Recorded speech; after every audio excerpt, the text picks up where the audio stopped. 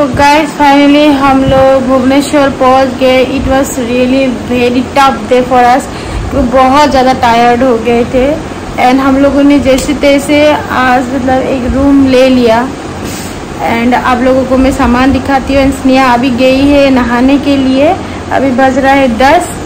तो मैं आप लोगों को बैक करके दिखाती हूँ। वेट ये देखिए हमारे रूम का हालत। हमारे सामान पूरा गिरा पड़ा है हर जगह पे। बस अब तो सोना है। तो देखते रहिए।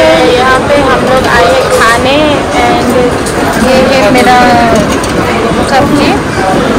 चिप्स है मटन है दाल है। यहाँ पे देखिए कितना भीड़ है ये भुवनेश्वर का होटल है। हेलो गाइस वेलकम बैक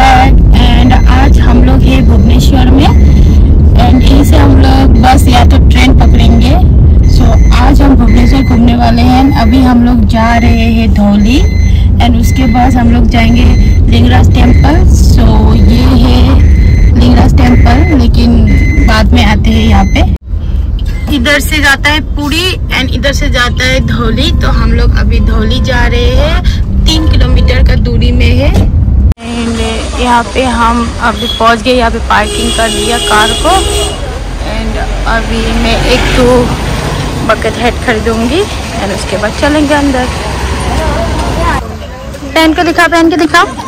अभी हम लोग ये खरीद रहे हैं, पहन के दिखाओ।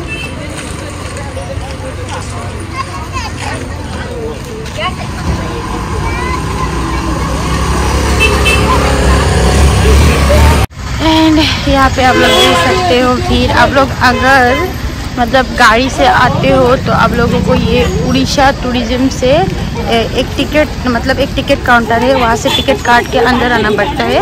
वहाँ पे आप लोगों को स्टॉप कराएगा, फिर ये उड़ीसा टूरिज़्म से गाड़ी से आप लोगों को यहाँ तक छोड़ देगा है। देखिए, बहुत भीड़ है अंदर में। ये सब छोटा छोटा दुकान लगा हुआ है।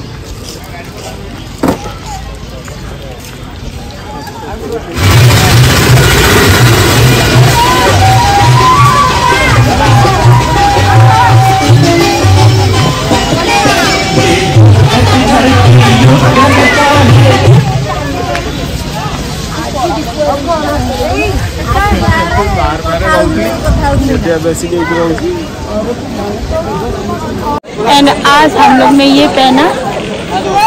कैसे लग रहे हैं? दोनों हीरोइन बन के आए हैं। लग रहे हैं ना हीरोइन? कमेंट्स में बताइएगा।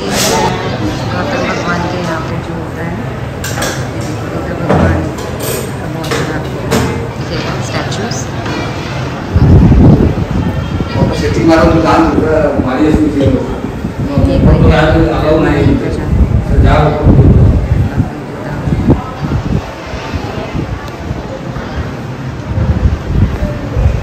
एंड गाइस ये है धोली का स्तूपा, जहाँ पे सम्राट अशोक, कालिंगा, वॉर एंड उन सब चीज़ों के बारे में बताया गया है। लेकिन हम लोग हो गए थे लेट क्योंकि शाम हो गया था एंड यहाँ पे कुछ लाइटिंग शो स्टार्ट होने वाला था। तो आगे का देखने के लिए आप लोग देखते रहिए। तो अभी यहाँ पे कोई शो होने वाला है।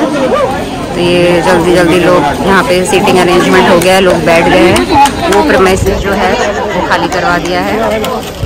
आप लोग देखते रहिए हम बताते रहेंगे क्या हो रहा है। अगर हम यहाँ रुके तो लेकिन हम लोग मोस्ट प्रोबेबली यहाँ से चले जाएँगे अभी। क्योंकि नेक्स्ट लोकेशन जाना है।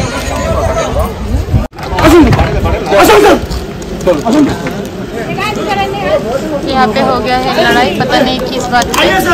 कितना कितना लड़ाई हो गया। धौली में जो स्तूपा है वो सम्राट अशोका के बारे में बताया गया है। एंड सम्राट अशोका का बहुत कुछ हिस्टोरिकल इंसिडेंट यहाँ पे मतलब uh, जुड़े हुए हैं। तो मुझे तो इतना नहीं मालूम लेकिन मेरे दोस्त से मुझे जितना भी नॉलेज मिला है ज्ञान मिला है उसी के बेसिस में आप लोगों को बताने का ट्राई करूँगी। अगर कुछ भी गलती होता है तो आप लोग प्लीज़ कमेंट में जाके मुझे रेक्टिफाई कर देना एंड माइंड मत करना।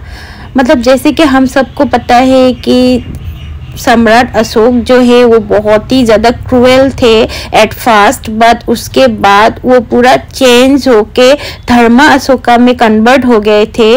एंड ये हुआ जब कालिंगा वार के बाद। कालिंगा वार में बहुत सारे लोग मतलब मर गए थे एंड उसके बाद अशोका को रियलाइज़ हुआ कि मैं, ये मैं क्या कर रहा हूँ? मतलब इतने सारे लोगों को क्यों मैं मार रहा हूँ? देन उसके बाद अशोका क्या किया? सिक्स मंथ के लिए इसी स्तूपा में ध्यान किया या फिर मेडिटेशन किया। उसके बाद वो पूरी तरह से चेंज होके धर्मा अशोका में कन्वर्ट हो गए थे। तो यही मुझे पता था तो यही मैं बोला।